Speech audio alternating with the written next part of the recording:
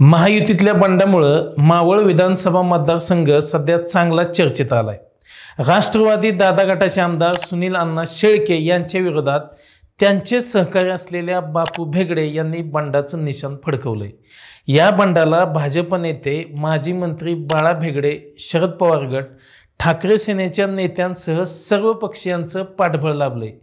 त्यामुळं शेळकेविरोधात बापूंनी तगडं आव्हान उभं केल्याचं चित्र पाहायला मिळते मात्र सर्व नेते बापूंसोबत असूनही मावळची लढाई जिंकणं त्यांच्याकरता वाटतं तितकं सोपं नाही. मावळचं गणित नेमकं कसं आहे? कुणाला जिंकण्याची अधिक संधी? यासह विविध मुद्द्यांचा घेतलेला हा आढावा. नमस्कार मी अमोल फडतरे बोलबिंदाच्या आजच्या भागात आपलं मनापासून स्वागत करतो. पुणे जिल्ह्यातील राजकीयदृष्ट्या सर्वात संवेदनशील मतदारसंघ म्हणजे मावळ. दऱ्या डोंगरांनी वेढलेल्या मावळात मतदारांपर्यंत पोचणं आणि मतदार टिकवून ठेवणं या दोन्ही गोष्टी कठीण मानल्या जातात. त्यामुळं मावळात दोन टर्मच्यावर कुठल्याही नेत्याला संधी मिळू शकलेली नाही. सुरुवातीच्या काळात या मतदारसंघावर काँग्रेसचं वर्चस्व होतं. एकोणीसशे पंच्याण्णवपासून मात्र इथं भाजपनं आपला प्रभाव निर्माण केला. पंच्याण्णवपासून दोन हजार चौदापर्यंत सलग भाजपाचे उमेदवार येथून निवडून आले. दोन हजार एकोणीसमध्ये भाजपाचे आमदार संजय उर्फ बाळा भेगडे यांच्या विरोधात त्यांच्याच पक्षाच्या सुनील अण्णा शेळकेंनी बंड केलं आणि राष्ट्रवादीच्या तिकिटावर ते रिंगणात उतरले. राज्यभर चर्चेचा विषय ठरलेल्या या निवडणुकीत सुनील अण्णा शेळकेंनी बाळा भेगडेंवर तब्बल त्र्याण्णव हजारहून अधिक मताने विजय मिळवला. त्यानंतर मागच्या पाच वर्षात त्यांनी मावळात विकास कामांचा धडाका उडवून दिला.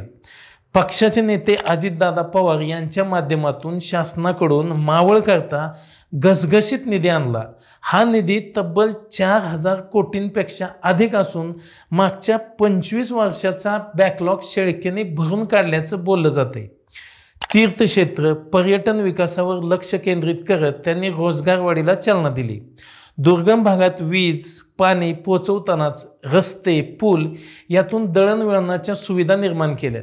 या विकास कामांच्या बळावर सुनीलांना मोठ्या ताकदीने राष्ट्रवादीच्या तिकिटावर पुन्हा मैदानावर उतरलेत सुनील अण्णाविरोधात मागच्या काही दिवसापासून भाजपाचे बाळा भेगडे रवींद्र भेगडे तसेच दादा गटाचेच बापू भेगडे यांची नावं चर्चेत होती.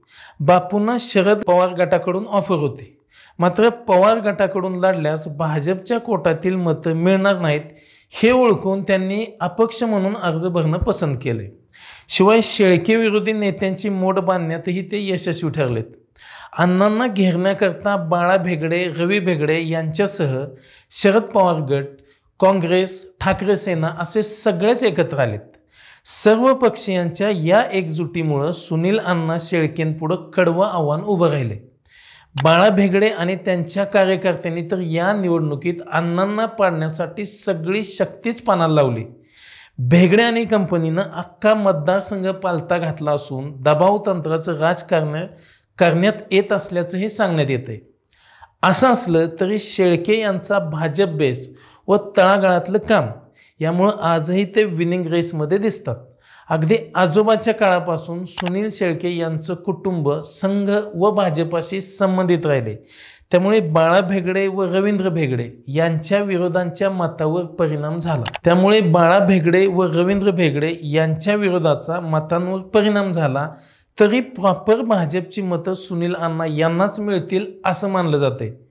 दुसरी त्यांची महत्त्वाची बाजू म्हणजे पब्लिक कनेक्ट शेळके वाड्या वस्त्यावर गावोगावी जाऊन लोकांशी सहजपणे बोलतात त्यांची कामं करतात. त्यामुळे नेते बापूंसोबत असले तरी जनता सुनील अण्णासोबत असल्याचंही स्पष्ट दिसतंय. बापूंनीही दोन हजार नऊमध्ये निवडणुकीत लढवत चांगली मतं घेतली होती. त्यावेळी बाळा भेगडे आणि बापू भेगडे यांच्यामध्ये लढत झाली. बापूंचा पराभव झाला. नंतरच्या काळात बापूंचा लोकांशी संपर्क राहिला नाही. आता मागील दोन ते चार महिन्यात ते सक्रिय झालेत ते निवडणूक डोळ्यासमोर ठेवू. हा मुद्दा कुठंतरी त्यांच्याकरता वजाबाकीचा मुद्दा ठरतोय. तरीही पवारांच्या एक दोन सभा झाल्या तर बापूंना त्यांचा फायदा होईल असं बोललं जाते मागील पाच वर्षात सुनील अण्णाने विकास कामांचा लावलेला धडाका आणि पब्लिक कनेक्ट तोडणं यावेळी तरी बापू आणि टीमला शक्य होईल अशी परिस्थिती नाही. कारण नेते बरोबर असले तरी जनता मात्र सुनील अण्णा शेळके यांच्या बरोबरच दिसत आहे. सुनील शेळके विरुद्ध बापू बेगडे ही लढाई निकराची होण्याची शक्यता आहे. नेत्यांच्या पाठबळावर बापू तर जनतेच्या पाठिंब्यावर सुनील अण्णा रणांगणात उतरलेत. आता या दोघांपैकी कोणता मावळा विजयाचा झेंडा फडकवणार याची सर्वांना उत्सुकता असेल. आपल्याला काय वाटतं हे कमेंट करून नक्की कळवा. आणि आमचा व्हिडिओ अजूनही सबस्क्राईब केला नसेल तर तो लगेच करा. धन्यवाद.